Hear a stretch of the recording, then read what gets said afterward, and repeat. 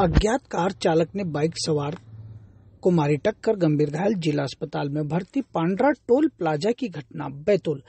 मामला घोरडोंगरी जनपद क्षेत्र के अंतर्गत आने वाले पांड्रा टोल प्लाजा की है, जहाँ पर डब्ल्यूसीएल कर्मचारी जो कि छतरपुर में काम करता है और काम करके शाम को चार बजे के, चार से पाँच बजे के बीच में अपने घर बैतूल लौट रहा था कि टोल प्लाजा के पास अज्ञात कार चालक ने पीछे से जोरदार टक्कर मार दी, जिसकी वजह से डब्ल्यूसीएल कर्मचारी गंभीर रूप से घायल हो गया।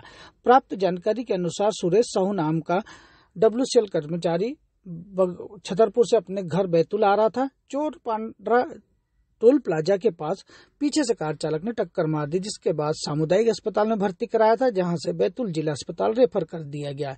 फ़िलहाल कार चालक मौके से फरार बताया जा रहा वहीं सुरेश साहू का बैतूल के ट्रामा सेंटर में इलाज जारी है।